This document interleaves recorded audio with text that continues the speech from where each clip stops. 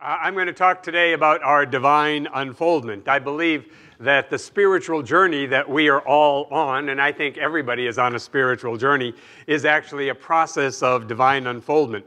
It comes from within us because we teach that the divinity already exists and it exists within us, and that divinity that's within us is actually seeking a way out into the world. So, one of the ways I often say this is that spirit within us is seeking a fuller and greater expression of itself. You know, we often sing the song, It's in every one of us, it's already there. So, contrary to the you'll be okay when something out here in the world comes into your life, something out here is going to make it better, that's the predominant thinking of the world around us. In the science of mind, we teach that you lack nothing right now. Even though you may think, oh, I got to get this, I need that, blah, blah, blah. No, the truth is, you as a spiritual being right now, you are whole, you are perfect, you are complete, you lack no good thing. You know, and, and um, the fullness, the allness of God is already within each and every one of us.